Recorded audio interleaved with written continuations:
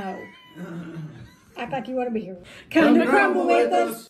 Okay, good job. We have new flavors today. That one's raspberry cheesecake, monster, I Stuck my finger in it. sea salt toffee, and Texas sheet cake. I'm just gonna be the person that eats a cracker at communion fast.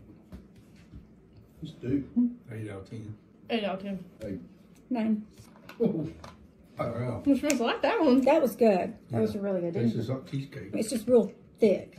Don't try to eat that one without water. This next one. Monster. So what makes it? Is it just It's M and M's, peanut butter chips, something and something. Oh, and oatmeal. oatmeal? Nine out of ten. Eight out of ten. Three. I don't like that. It had a lot going on, That's why I like it. me too. but I don't like cookies with M&M. I like it. So the next one is salted topping. Four out of ten. Hmm? I'm not a fan. I ain't, I'm like five out of ten. I'd eight. Six. I'm not very good at rating these because I like every cookie. There's just been a cookie I ate and I'm like, I don't like that. What's this one? Uh, Texas sheet cake. looks just like a chocolate cookie. That's weird. Mm, yeah, I don't like it. It's like eating sand. Spit it out. Three out of ten. Two out of ten. I like the way it tastes, but I don't like the texture. I say like four. Three out of ten. I'm with negative one.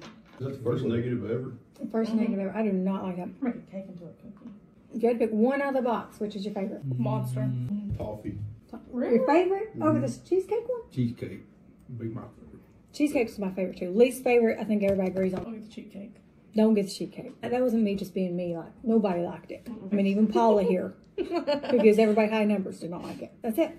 Ta-da! See you next.